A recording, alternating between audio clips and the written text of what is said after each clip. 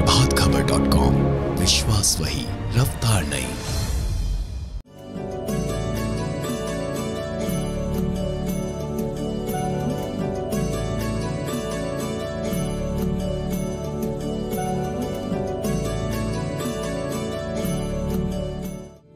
बाबा विश्वनाथ की नगरी काशी में सोमवार को देव दीपावली पर अद्भुत नज़ारा देखने को मिला।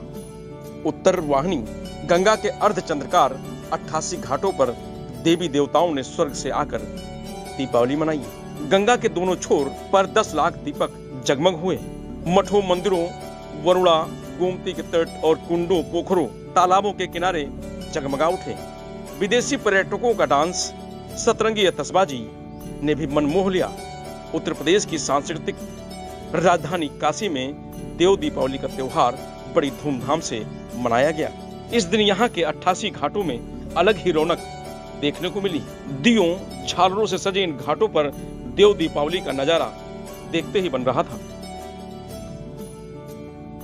बड़ी दिवाली के 15 दिन बाद बनारस में देव दीपावली का त्योहार मनाया जाता है। इस दिन देवी देवताओं की पूजा अर्चना करने के बाद नदी में स्नान करके दीपदान किया जाता है। माना जाता है कि ऐसा करने से सभी देवताओं का आशीर्वाद प्राप्त होता है। देव दीपावली पर दीपदान करने का बहुत महत्व है।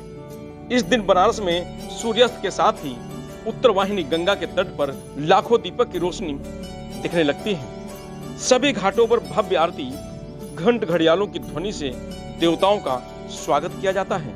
कहा जाता है कि देव दीपावली के दिन स्वर्ग से देवता काशी आते हैं।